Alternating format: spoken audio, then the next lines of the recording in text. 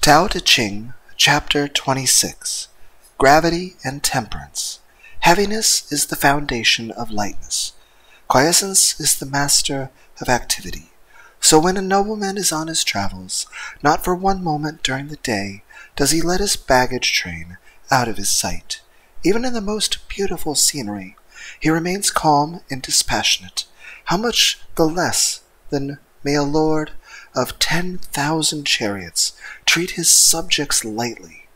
Through lightness he loses his foundation. Through intemperance he loses his throne.